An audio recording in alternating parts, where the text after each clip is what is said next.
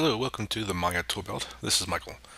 Today I wanted to go over a very basic command for especially for beginners. Uh, this command is under the Edit Mesh menu and it's called Delete Edge slash Vertex. And you can see the shortcut there is Control Delete.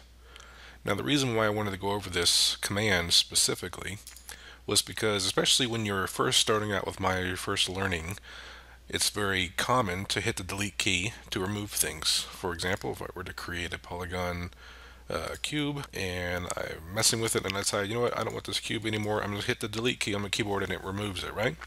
Pretty self-explanatory. Let's create a sphere instead, polygon sphere, and scale it up. I'll hide the grid. You know, let's say you want to delete some edges on a sphere. Let me double click this edge and you'll see I select the entire edge loop. So I have that entire loop of edges selected.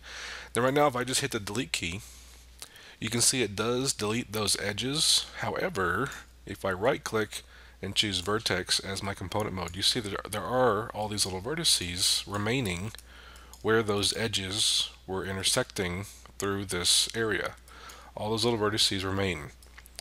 And if you are not expecting that, it can be very uh, difficult to understand why your mesh is not working out the way you thought it would. If you don't get or don't if it doesn't click with you that when I deleted those edges those vertices are still there. And so then you have to go back and select all these vertices and then hit delete again. And now that stuff's all gone for good. So it's a little bit cumbersome at first to get used to but there is a command for deleting edges and also deleting those vertices that are along those edges which is what I just showed you.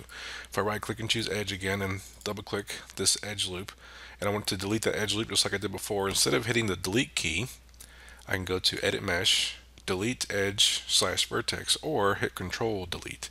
So I'll use the shortcut. So hold down control hit delete and it removes that edge loop and the vertices that are going along with it. Okay? So very simple command really. There's no options to it. Edit mesh, uh, delete edge vertex. There's no option box to control how that works.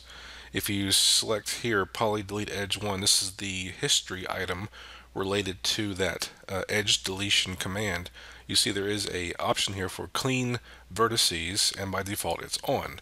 If I turn this off, you'll see here that now those vertices are back. So there is the option, if you want, to leave the vertices by and use this command at the same time. So I use this command to delete those edges and I turn clean vertices off. Then it those vertices will remain on the sphere.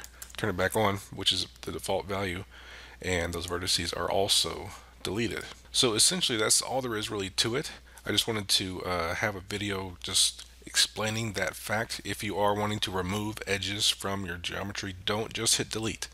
You want to hit control delete, which is the shortcut for edit mesh, delete edge slash vertex. If you if you are new to Maya, I hope this was helpful in hopefully explaining why you might have those little hanging vertices, you know, suspended in your geometry all over the place, which you know I've seen happen time and time again, especially with uh, someone new to Maya, such as the students I uh, teach at school and other people I've seen, you know, who ask me questions online and such. This is a really simple, uh, new, very easy command to not know about. okay, so yeah, if you want to delete an edge loop or any edge really, and you also want to delete the vertices that are along that edge, then you need to use this command here.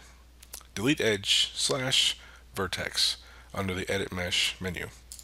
Hope you enjoyed that video and learned a little something something.